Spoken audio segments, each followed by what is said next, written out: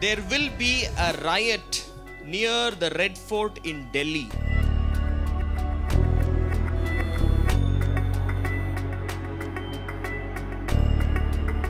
Near the Red Fort in Delhi, a riot such as that happened in the days of freedom struggle.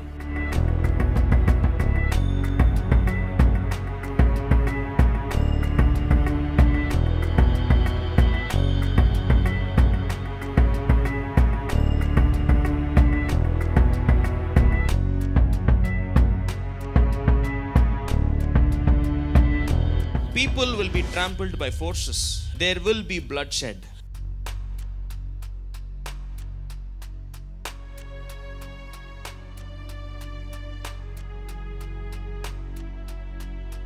And please note, some of these prophecies are for 2021 and some beyond 2021.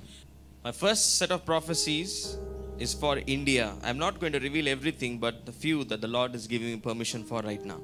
And before I go into this prophecy, I want to read to you Revelations 22, verse 11. He who is unjust, let him be unjust still. He who is filthy, let him be filthy still. He who is righteous, let him be righteous still. He who is holy, let him be holy still.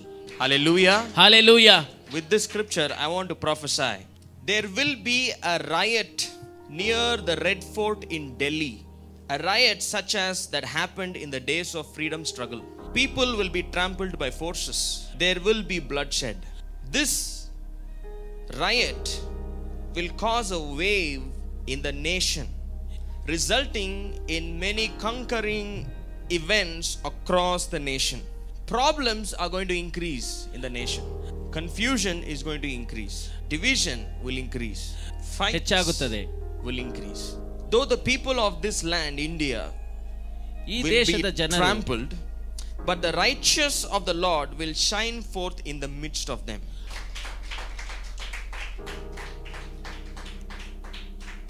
There will be a landslide taking a toll of human lives in Sikkim, Bhutan, and Nepal region. Manipur will also see natural destructions. And as I prophesied in 2018, I repeat it again. This is for the far future. India is going towards being divided into two nations the north and the south. Now, all this has been revealed so that the church can pray against it. For some of the inhabitants of the land, it's going to be terrible days. But the church, it's time we understand. One who is unjust, let him be still. One who is holy, let him be still. Amen. Amen. There is a division, a big divide between the church and the world, and will only grow. Hallelujah. Hallelujah. We, the church, must learn to walk by faith and not depend on the system of the world. In fact, in every nation of the world, there will be trouble. I've only shared a few that I was led to share. Now, certain prophecies concerning the global church. The Lord said to me that He is going to purge His church, the global church. God is going to cleanse it. For there are many who have called themselves apostles who are not.